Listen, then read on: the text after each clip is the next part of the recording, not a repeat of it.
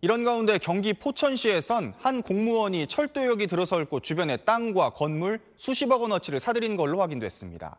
알고 보니 이 직원은 부동산을 사기 직전까지 철도역 관련 사업을 담당해온 걸로 드러나 의혹이 커지고 있습니다.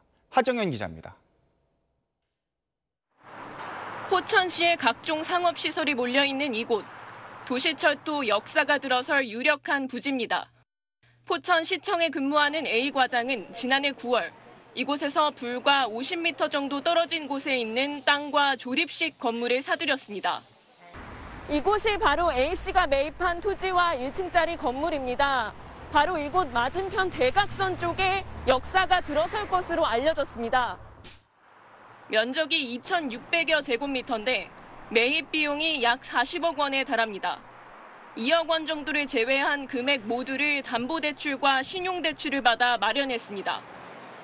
A씨는 6년 전에 해당 토지 바로 옆 토지도 사들인 바 있습니다.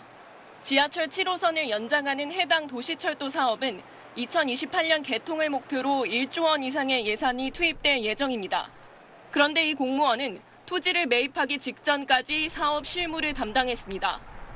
A씨는 사실관계는 인정하면서도 역사 부지가 확정되기 전에 이뤄진 매입이라며 직무 관련성을 부인했습니다.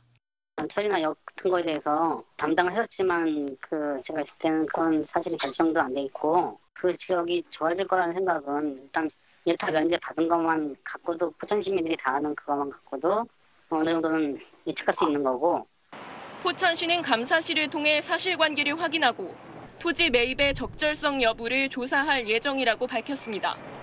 SBS 하정현입니다.